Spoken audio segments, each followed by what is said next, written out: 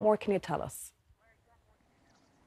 Yeah, as you say there, this tragedy struck uh, just before midnight last night. Emergency services alerted to a collision between a car and an articulated truck here on the N60 at Facefield. This road uh, links the towns of Claremorris and Balla. Now, two men aged in their 20s were pronounced dead at the scene. They had been the occupants and the only occupants of the car involved in this road crash, and their bodies were removed to Mayo University Hospital, where post-mortem examinations will take place. Uh, the driver of the truck, aged in their 30s, was also taken to Mayo University Hospital uh, for uh, for precautionary reasons. Now, the identities of the two deceased men have not yet been made known, but we understand that they were from nearby towns here in County Mayo.